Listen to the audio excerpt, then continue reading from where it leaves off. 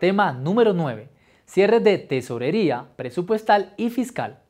Al finalizar cada vigencia fiscal, es necesario establecer el balance financiero de tesorería, presupuestal y fiscal con la finalidad de evaluar los logros alcanzados, las metas cumplidas y los resultados con relación a los objetivos propuestos de las ISTP. En este sentido, es fundamental tener claridad de cómo se efectúan los cálculos de la situación de tesorería, presupuestal y fiscal, al igual que poder identificar las posibles causas de las situaciones de carácter deficitario o superavitario, así como las posibles soluciones de corto, mediano y largo plazo al igual que la viabilidad de cumplir las mismas por cada una de las ISTP. ¿Cómo se mide la eficiencia del cierre?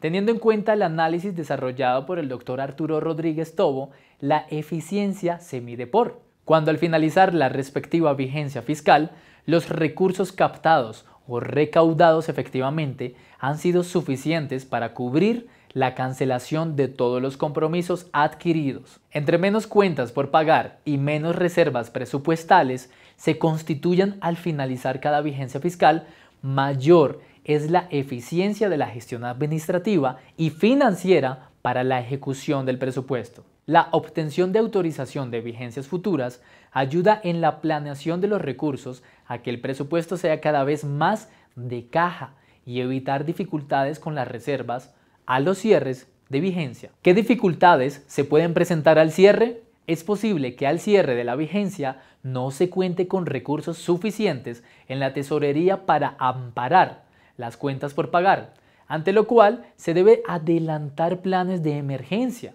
y afectar el presupuesto de la vigencia siguiente y suspender apropiaciones. Una situación de déficit fiscal puede llevar a la ISTP a tener que adelantar planes de mejoramiento voluntario o con el acompañamiento de la DRE o MinEdu y así poder obtener recursos y salidas a las deficiencias. Una situación de superávit fiscal se puede deber, entre otras cosas, a un mayor recaudo de los ingresos por encima de lo presupuestado o a una menor ejecución del presupuesto de gastos o las dos cosas.